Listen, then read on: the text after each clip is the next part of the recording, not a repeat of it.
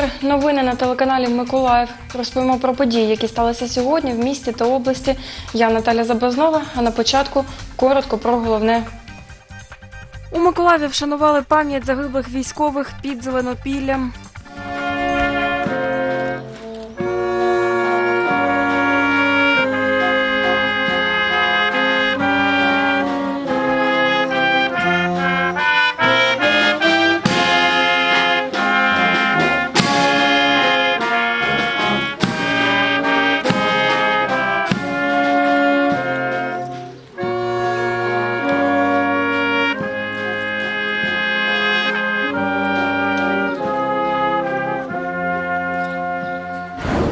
Велопробіг литовців на підтримку України. Сьогодні велосипедисти рушили з Херсона до Миколаєва. Про ці та інші події більш докладно. У 79-й окремій Миколаївській десантно-штурмовій бригаді відбувся мітинг реквієм за загиблими 11 липня 2014 року під Зеленопіллям, що у Луганській області, військовими. Дев'ята ранку військові 79-ї та авіаційної бригад, представники підрозділів військово-морських сил вишукувались біля меморіалу пам'яті на території десантно-штурмової бригади. О 4.30 ранку в районі населеного пункту Зеленопілля Луганської області з реактивних систем залпового вогню БМ-21 «Град» незаконними збройними формуваннями були обстріляні позиції підрозділів 1-ї батальйону тактичної групи та підрозділи гаубічної артилерійської дивізіону 79-ї Миколаївської аеромобільної бригади на той час, а також підрозділ 24-ї окремої механізованої бригади та підрозділ Державної прикордонної служби України. Тоді під час артилерійського удару було поранено 52 миколаївських десантники. Загинули дев'ятеро. Їх рідні сьогодні теж покладають квіти до меморіалу.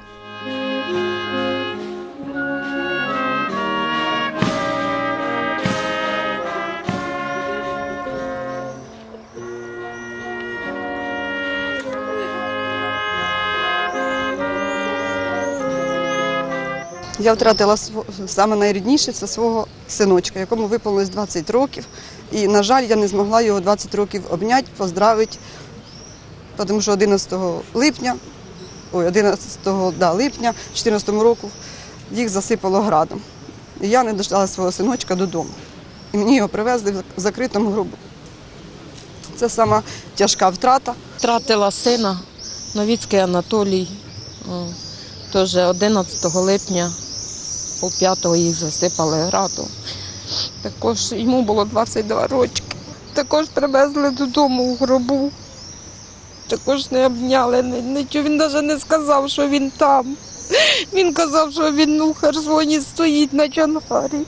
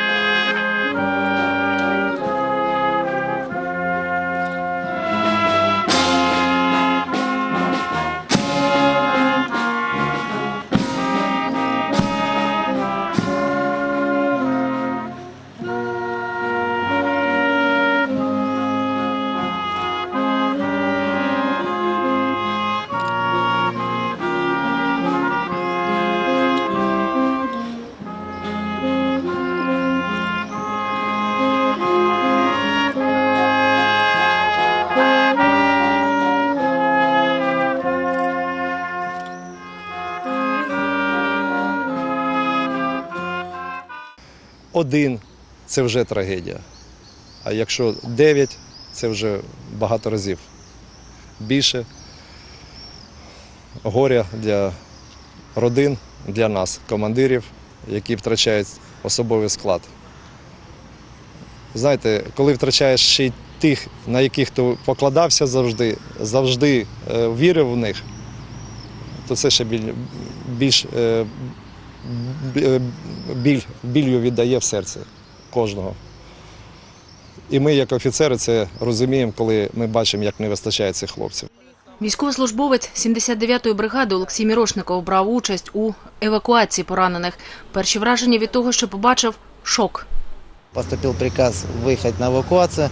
Мы с майором... Поступив наказ виїхати на евакуацію. Ми з майором Кашаповим, царство йому небесне, загинув також він. Виїхали на евакуацію. І коли побачили, що там було, там був шок. Я був шокований вперше за цей час. Я до кінця не вірив. Все горить, багато трупів, багато поранених. І не знаєш, що робити, хто з нашої бригади, хто чужий там. І коли прилетів вертоліт, дуже багато поранених, багато важких. І ми тоді вже з полковником Сергієм Кузом не могли навіть, ви знаєте, найстрашніше було, коли вертоліт може прийняти на борт всього лише 10 чоловік, а їх там 15. І не знаєш, кого вантажити, хто важкий, хто не важкий.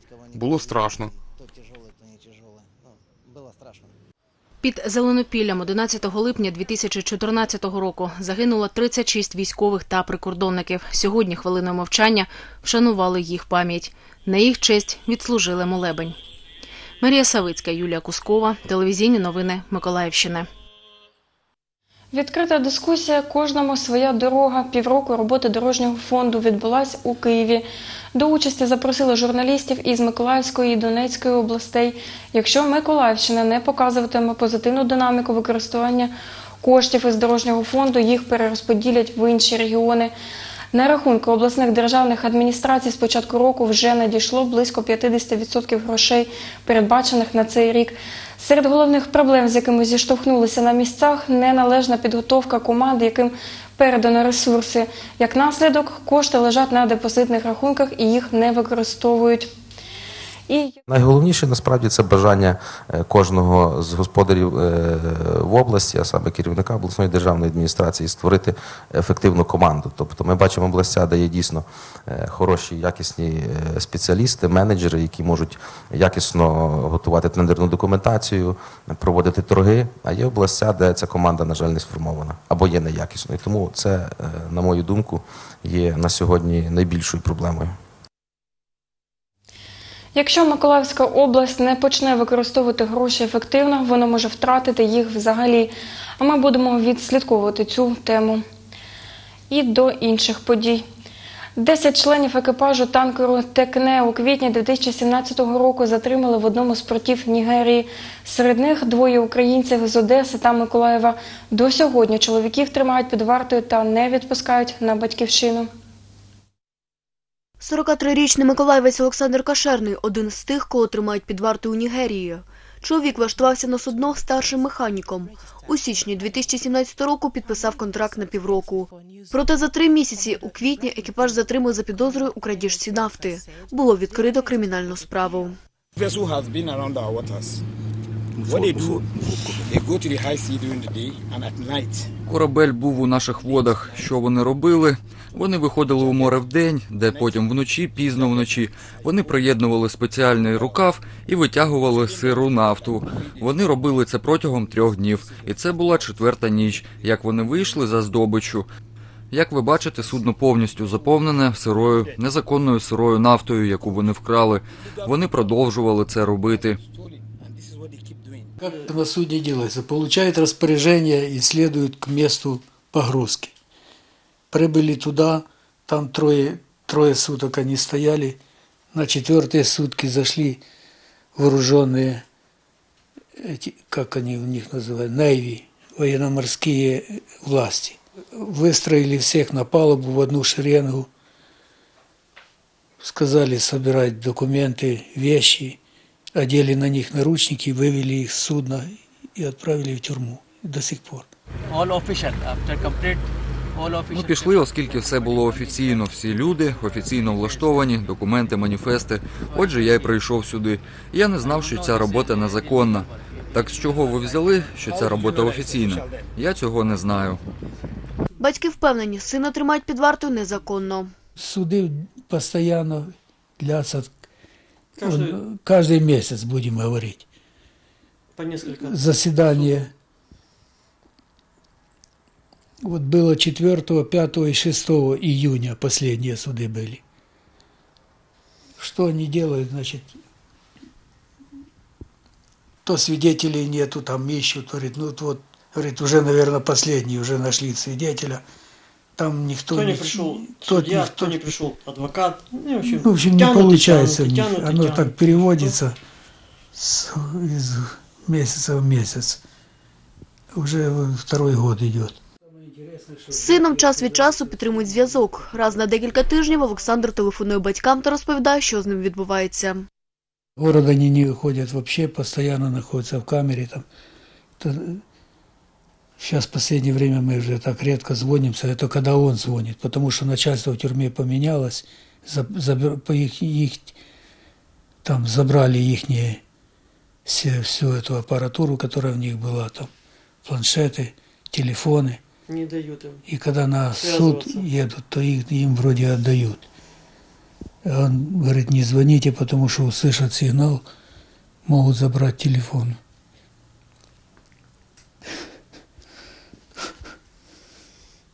Ну, мы как-то боимся, потому что связь пропадет. Сергій Кашерний емоційно говорить про сина. Я его туда затянул, а теперь и сам не рад. Как бы привил ему так морское дело это. Он со мной ходил в рейсы сначала. Начинал с рядовой должности и вырос до стармеха. Предложили ему должность старшего механика. Вот последний рейс.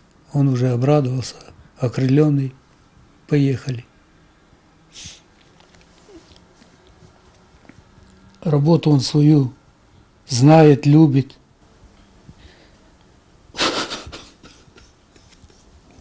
Нам також вдалося зв'язатися з Олександром. Він розповів про обставини справи та умови, в яких його тримають. Від відеозв'язку чоловік відмовився, переймаючись через власну безпеку. Ніхто нічого не говорив. Нас привезли в Абуджі. Це дізналося через місяць перебування там. Привели в приміщення, яке знаходилося під землею. Перед входом в камеру зняли пов'язки і наручники. Там під землею ми пробули три місяці. Потім нас літаком привезли в місто Порт Харкорт. Там просиділи в спеку 40-45 градусів за гратами, свідомість втрачали. Після другого суду нас взагалі направили до в'язниці, де і зараз знаходимося. А тут взагалі цілковитий кошмар. Харчуватися потрібно за свої гроші. 5 липня ми надіслали інформаційний запит до Міністерства закордонних справ, аби дізнатися, чи допомагає українська сторона затриманим морякам. Міністерство поки що не надало відповіді. Світлана Кльосова, Артем Белібов, телевізійні новини Миколаївщини. У Миколаєві відбулась зустріч командира групи водної поліції та капітана яхти Катерина, яка 7 липня тонула в акваторії річки Конка у Херсонській області. В операції порятунку брали участь поліцейські групи підтримки громадського порядку на воді головного управління Національної поліції в Миколаївській області, які перебували на патрулюванні акваторії Дніпробузького лиману. До них за допомогою звернувся капітан яхти, який залишався поблизу судна. Задела Сітка зачепила гвинт, і там ще був трос сталевий, натягнутий замість мотузки. Тому кронштейн, який утримує гвинт, він увійшов у тіло, в корпус. Он сориентировался, молодец. Він зорієнтувався, молодець, на мілину вивів яхту, і яхта, так би мовити, не затонула повністю. Ну а ми своїми діями націлені на надання, так би мовити, громадянам нашим допомоги всебічної. За допомогою помпи з яхти відкачали воду та відбуксирували на берег. З шести осіб, які були на борту, ніхто не постраждав. Олександр Гордієнко, Артем Белібов, телевізійні новини Миколаївщини. На Миколаївщині горять гектари полів внаслідок дій аграрів. З початком літнього сезону на території Микола- Миколаївщини панує спекотна погода. Пожежі виникають внаслідок дій аграрів, які спалюють залишки стерні на скошених поля- полях. Зокрема, минулої доби 10 липня на відкритій території села Бузьке Вознесенського району внаслідок необережного поводження з вогнем горіла стерня на площі 4 гектари. На місце працювали рятувальники 12-ї державної пожежно-рятувальної частини. Додатково здійснювався підвоз води. А у лісовому урочищі Лісне на території Широколанівської сільської ради Веселинівського району горіла хвойна підстилка. Пожежу площу 3 тисячі квадратних метрів ліквідували працівники лісового господарства та місцеве населення. За попередніми даними, це був підпал. Про це повідомляє прес-служба головного управління Державної служби з надзвичайних ситуацій у Миколаївській області.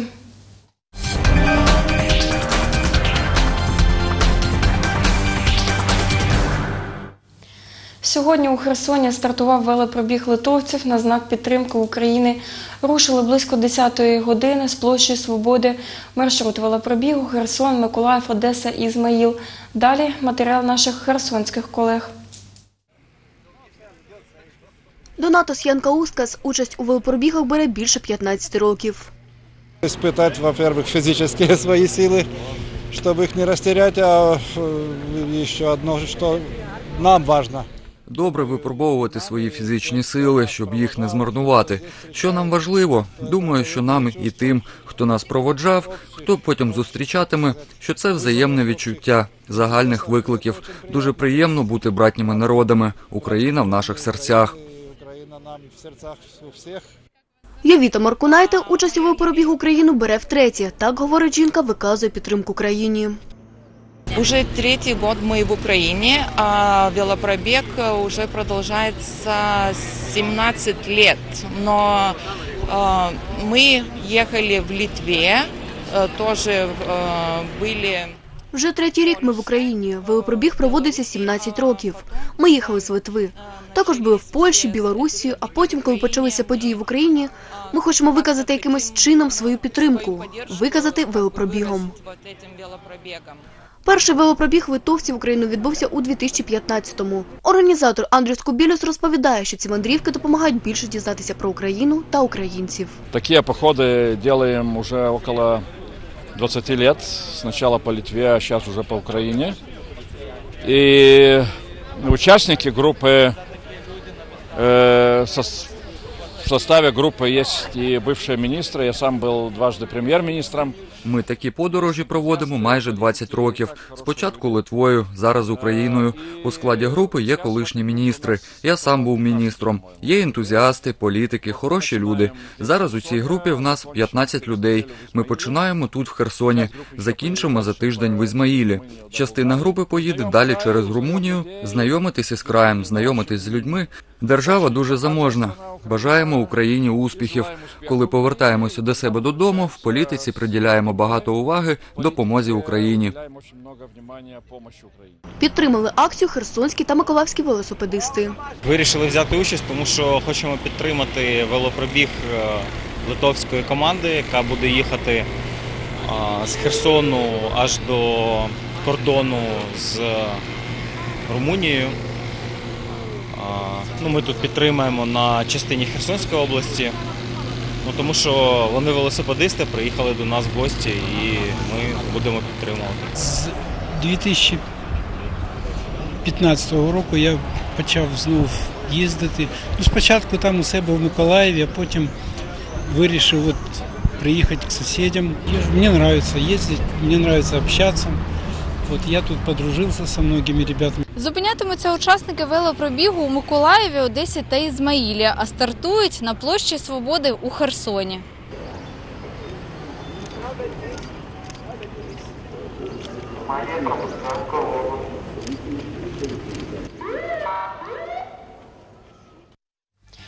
І у ці хвилини наші журналісти спілкуються з литовськими велосипедистами на вулиці Терасній.